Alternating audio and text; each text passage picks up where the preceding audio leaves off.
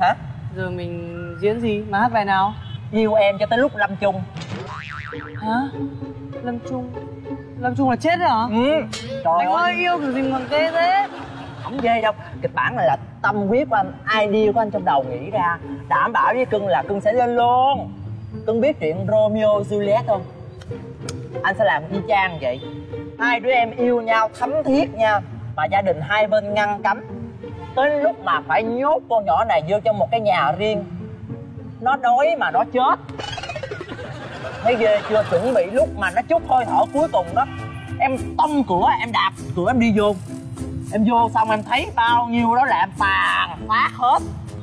Tàn sát? Ừ. Thôi anh ơi ghê quá hả Giết giết chóc ghê quá hả gì giết chóc ghê có gì đâu ghê. Giết mấy con chuột thôi mà. Mấy con chuột mà dành đồ ăn nó nó mới chết đói đó. Hiểu không đừng có sợ lúc mà cưng vừa bước vô, em giết xong mấy con chuột xong, em thấy người yêu đang thôi thóp em dùng hết sức bình sinh, em dùng hai tay em sốc nó lên. Rồi Anh nhìn em này, Thân em như thế này sao mà mà em bê được? Không sao, anh có cách hết. Vì tình yêu em làm được, em vượt qua sức nặng ngàn cân của nó em làm được. Em sốc nó chạy trong mưa nha cưng, chạy marathon 1.500 m chạy thẳng bệnh viện vừa tới cổng bệnh viện dắt cái bậc thềm một cái nó đè lên người em. Em chết nó chết hai đứa chết. Trời tình yêu đẹp quá em ơi. Anh còn tự nể cho nhiều khi thế nể mình có ý tưởng hú hồn luôn á em. Nhưng mà anh ơi Thôi Kịch bản lố bịch lắm. Anh một anh cho anh đổi kịch bản hoặc là không thì Em không làm đâu. Ê lố mà là lố làm sao? Lố bịch là lố làm sao? Trời Ờ. nghe mà tức ghê luôn á em. Nhớ nè vô công ty anh anh dặn rồi. Không có được cãi anh nha chưa anh nói gì nghe đó đi. Tất cả chuẩn bị. Ekip quay hùng hảo. Dạ. Vô nè. Ra quay nè. Dạ. Sao? Máy quay đâu mà có một cái chân vậy? Nè. Cái này là cái chân máy. Cái máy đâu? Máy nè. Máy quay đâu? Anh lại dùng điện thoại. Cái điện thoại quay được em thời buổi này cứ muốn gì nữa? Em đưa anh có 8 triệu à. Chứ phải mày đưa 800 triệu đâu mày đưa 800 triệu đi anh đưa cho mày cái máy quay điện ảnh hiểu không? Cái này là quay được rồi. Nè cái chân máy này là đã từng đưa lê dương bảo lâm nổi tiếng nhờ livestream đó. Cưng sẽ lên luôn, tin anh đi. Rồi, giờ chuẩn bị nha. Mặt không vào, đừng vào. Bé ra kia quay nha. Mặt không vào. Vui lên. Anh nói phải nghe, đừng cãi. Rồi, tất cả chuẩn bị. Ba, hai, một. Diễn lại cái cảnh hai đứa yêu nhau lén lút giữa công viên. Action! Anh ơi, Anh có yêu em không vậy?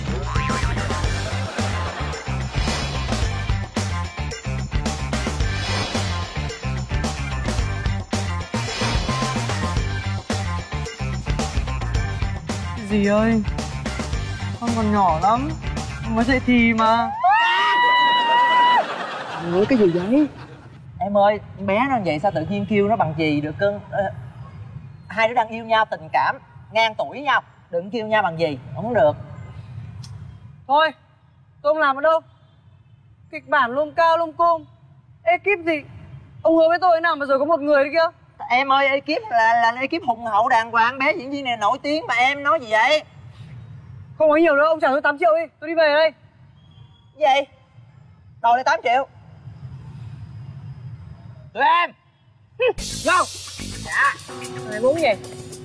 Hả? Ông tính ăn hiếp tôi à? Mày nói gì mày nói lại tao nghe ơi.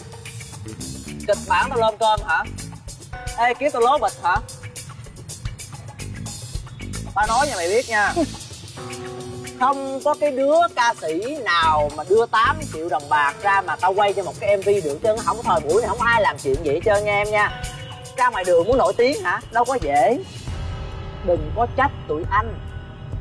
Tụi anh không có lừa gạt gì em hết. Trách á là trách em ngu. Em khờ em muốn nổi tiếng nhanh thì em phải chịu thôi. Tôi muốn nổi tiếng Nhưng mà tôi không thể nổi tiếng tới cách này được. Ôi Cách này đâu có gì đâu lạ đâu. Nè cứ muốn nổi tiếng. Mà không muốn theo cách này. Muốn cách nào? Scandal hả? Không có nói nhiều. Em nhớ cái bản hợp đồng không? Ừ. một trong đó nghe theo lời anh. Hai đền hợp đồng hai chục triệu. Hả? Làm gì có hợp đồng làm 20 triệu? Không có điều khoản nào như thế ạ. Ừ. bé này lại thay ngô nữa rồi. Tội nghiệp quá à. ông đưa tôi coi nào. Ngây thơ quá đây nè. Coi lại đi cưng. Mở ra mở ra mở ra cho bác coi.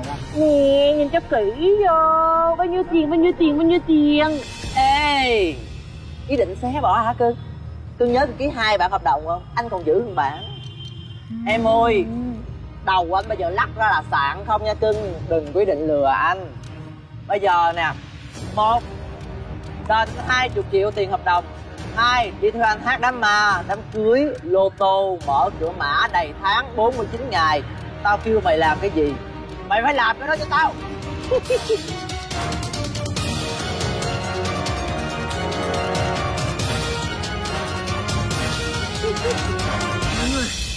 Mấy người lừa tôi!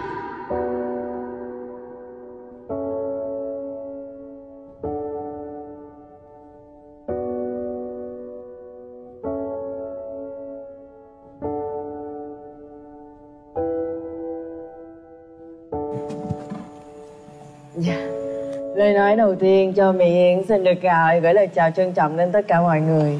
Dạ, hôm nay Mỹ Yến à, giọng hơi bị khàn nên không thể hát phục vụ mọi người như mọi ngày. Hy vọng mọi người vẫn sẽ mua kẹo ủng hộ cho Mỹ Yến à. như chị thấy quen lắm luôn á như là bà thi cái chương trình gì mà bà được đặt cái giải gì Mua giùm em nha. ủa em mà anh hỏi tí nè em đi chương trình gì anh nhìn quen lắm luôn á Dạ em thấy nhớ nhiều quá em không nhớ nữa. không nhớ Mua giùm em nha. sáng giờ anh mua gì anh mua nhiều đồ anh hết tiền. Nè nè nè nè nè. Ông á ông mới tới đây hay sao vậy hả? Chị này là chị nổi tiếng ở khu này luôn á. Hát rất là hay. Dạ chị dễ thương quá, mua giùm em kẹo nha chị. dạ em không ăn kẹo. Thôi thôi thôi thôi. Dạ theo hành ở bên này nè. Nó thích hát dữ lắm chị ơi. Mà chị là nổi tiếng nhất cái khu này nè hai người kết hợp để hát song ca đi đúng không? Đúng. không? Không phải chị không muốn hát mà hồi trưa chị đi hát đám cưới rồi hát từ chiều tới giờ tắt tiếng luôn rồi. đúng rồi tắt tiếng nghe khàn tội ghê luôn dễ sợ xô quá trời xô luôn. À, ủng hộ em trai đó hát. ok hát đi hát đi hát đi. Hát đi em thành. Trời ơi